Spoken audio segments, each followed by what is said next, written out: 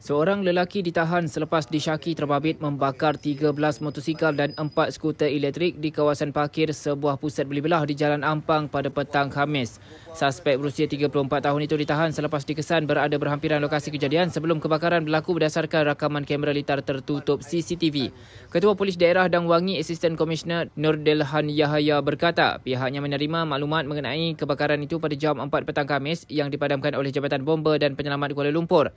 Susulan kejadian kejadian bahagian siasatan jenayah daerah Dang Wangi membuka kertas siasatan mengikut Seksyen 435 Kanun Kesesaan sebelum menahan lelaki terbabit beberapa jam selepas kejadian. Ketika penahanan, polis merampas sebuah motosikal jenis RS, serangkai kunci motosikal, satu helai baju, satu helai seluar, satu sarung tangan, satu beg, satu jam tangan dan satu pemetik api. Beliau berkata suspek terbabit direman enam hari bermula Jumaat hingga 19 April depan.